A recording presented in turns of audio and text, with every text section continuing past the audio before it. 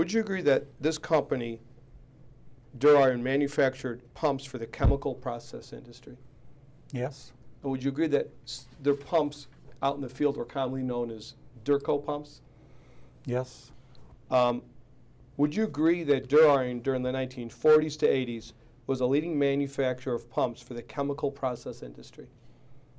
yes, And would you agree that Duriron over the years sold asbestos replacement packing for its pumps? Is that correct, sir?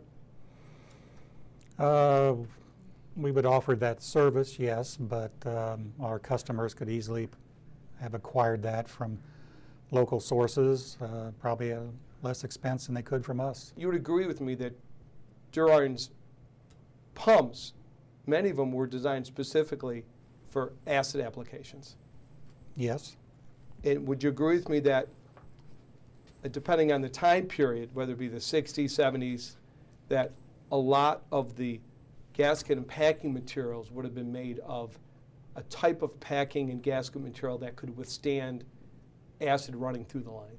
yes, Would you agree with me, sir, that the predominant material that was used as packing in- in acid lines was asbestos? During certain time periods, yes, it was considered the industry standard. That would include West Valley and Buffalo Colors, sir? Yes, Are you aware of any other documents today that, at least for this period we're talking about, that when it came to chemical packings for chemical process pumps, that um, African blue was clearly the most predominant one used during that period?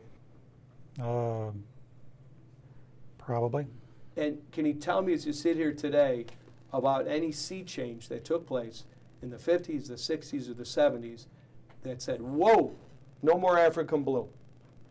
We're going to go with a different type of product. Well, there are other, there were other products available during the later time period. So there were alternatives to asbestos, correct? Yes, But the predominant one that was used for chemical process pumps and acid pumps, at least in the 50s and 60s and 70s, was the African blue. Is that correct, sir? for acid pumps, probably. And so would you agree that Duriron continued selling asbestos-containing packing materials until about 1980? That was an option customers could order, yes.